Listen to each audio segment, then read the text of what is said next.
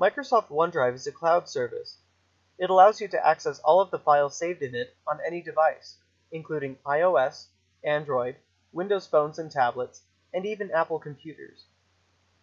If you were previously using OneDrive on this computer and recently upgraded to Windows 10, your OneDrive account should already be activated and be working properly. However, if this is your first time using this computer or have never used OneDrive before, you will need to follow these instructions to get started. To begin using your OneDrive account, go down to the bottom right hand corner of your screen on the taskbar. The OneDrive icon looks like two clouds that are next to each other. Click on it to open. Let's get started. Your Microsoft account is the account you should have used to log into this computer. If you never created a Microsoft account, you can sign up for one now. If you can't remember your Microsoft account, or if you have one, you can use this link right here to recover your email and your password.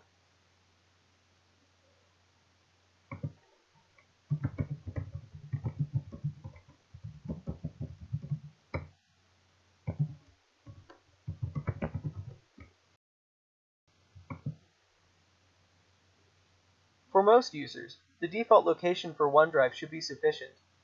However, I would like to change it since I'm using a two-drive system, and one drive has more space than the other. To change it, click the Change button and navigate to your new folder.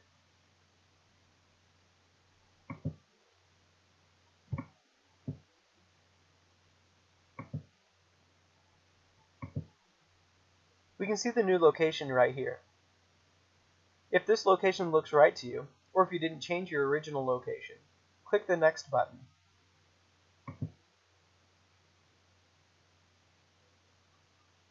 This is a list of all of the files that I have saved on my OneDrive, since I've been using it previously. These are all files that are saved on the internet, or on the cloud.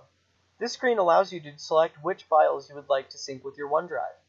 For example, if space was limited on this computer, and I only wanted my personal documents, I could uncheck my other folders, and only my personal documents folder would be synced with this computer. However, since I would like all of my files and folders in my OneDrive, I'll check the very top box. At the bottom, we can see how much space will be taken up by OneDrive based on the folders I've selected up here. We can see right here the remaining space I have on the drive that I selected for my OneDrive or the default drive if you didn't change your location.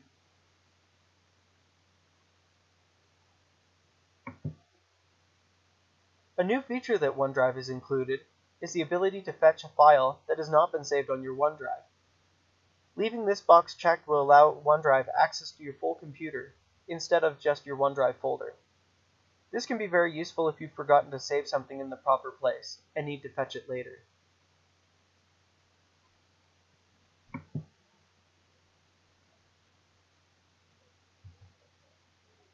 As we can see, my OneDrive folder has been opened up.